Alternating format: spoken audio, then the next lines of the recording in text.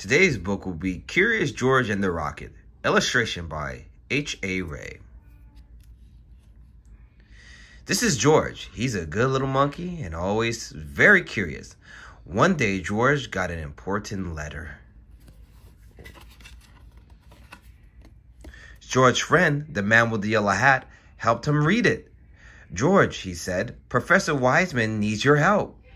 He built a rocket ship to travel into space. It's too small for a person to ride in, but it's just the right size for a clever monkey. Do you want to go into space, George? You will have to be very brave. George was glad to help. His friend take home, take him to the, see the professor and the other scientists at once. They got the smallest size spacesuit for George and taught him all he needed to know for his flight. Make sure you got all your checklist. When everything was ready, a truck drove up with a special screen mounted on it to watch the flight. Everyone got on, and they were off to the launching site. Look at that cool truck. The great moment had come. George knew just what to do.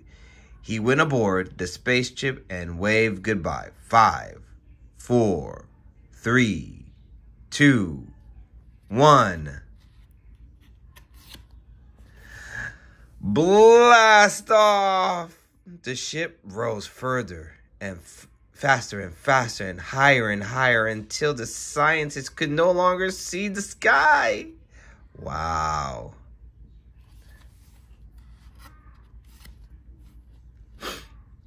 But on the screen, they saw George clearly all the time.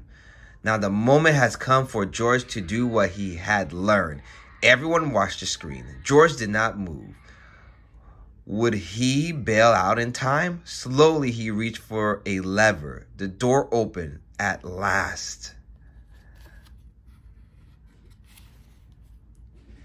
Out of all the blue and open parachutes came floating down to earth Hurry! George was on his way back home. The truck raced to the spot where he would land.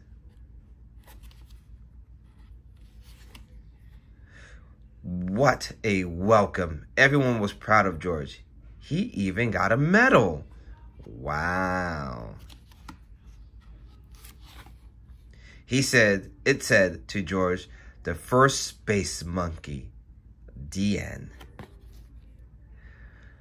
Well, that was a cute little read. If you guys enjoy this book, please leave a like and a comment. And if you have more books you would like me to read, also leave a comment down below. But until then, take care, God bless, and look forward to seeing you on another book read. Bye-bye now.